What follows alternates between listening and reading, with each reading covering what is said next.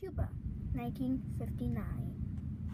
Nearly 19, New Year's 1960, but Cuba's pretty sad. So the Russians, they were like, oh, the American special ops and forces held them off. The U.S. regulars are coming in. We pretty much just lost Cuba altogether. This is the Russians over here.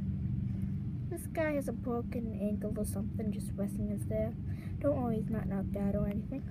So the Americans, they weren't having any of those nuclear biz. So they sent a strike force led by Captain Jerry, led here. I mean, picture here, pictured here. Sorry about that. I'm pretty horrible pronouncing things. So as I was saying, they've have. I suck so much at this. They have two tanks and a submachine gun on one tank. But that's not necessary because they have machine guns. Of course, there's a strike force and a mortar. Captain Jerry is a flamethrower. The Russians have a pretty solid defense, bro. And this is gonna be a hard battle. But if the Americans do win, then nuclear apocalypse avoided. If the Russians win, then grab your mask and start clubbing your neighbors for resources.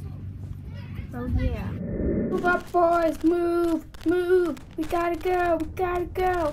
Move up, move up, move up, move up. I'm going up. No, that's suicide. Stop, stop, stop going. Stop going. He's gonna suicide.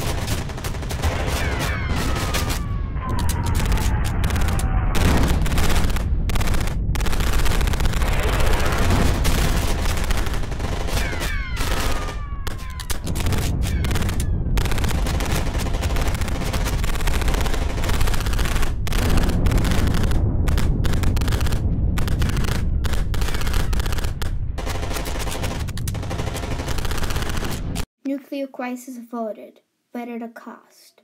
A cost many men may not pay.